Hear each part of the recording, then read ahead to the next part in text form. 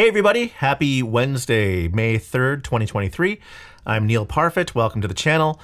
This is just a quick follow up to my video I did the other day on my research into 4K video and switching to it. And I was pretty sure I wasn't going to do it based on the black hole waste of time I did on Friday afternoon. And, you know, followed up by so many amazing comments and a lot of incredible information yeah, it's not happening. I'm not doing it. it's just why? There's no point. And maybe you've noticed that the video quality today is better. I mean, look how much more crisp and sharp and beautiful and wondrous I look, right? But truth be told, and I feel kind of stupid saying this, I forgot that I had a Fujifilm X100V. I know that sounds ridiculous, but hear me out. I had bought it right at the beginning of 2020 when I was in Tokyo, and I bought it as a travel camera because I like taking pictures with a real camera versus an iPhone. I feel like I make better decisions.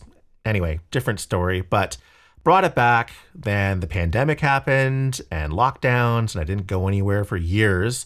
So the camera just ended up on a shelf and I forgot about it. So I busted it out yesterday night when I had that aha moment and I set it up and I'm blown away at how much better this looks versus the Sony ZV-1. And I think it's just a testament to good design and, you know, design for a purpose. The Fujifilm was designed as a digital camera that would behave as a film camera, whereas the Sony ZV-1 is designed as a vlogger camera.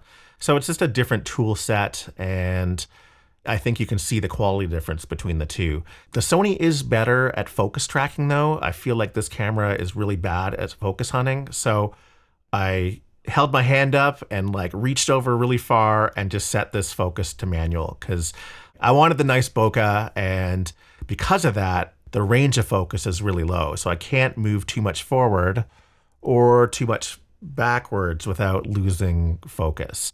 Anyway, I'm still going to figure that out. This is, you know, one day in, but the camera looks just as good with uh, its internal uh, lens versus this portrait lens. And I also have the wide angle lens as well. So I think between these three options, I've settled upon and arrived at my final setup to do these videos properly. And how many years has this taken? Way too many. But uh, thanks for hanging in and I think I've settled with the picture and audio for this stuff. So, yeah, happy Wednesday. Anyway, hope everybody's well and uh, see you later. Bye.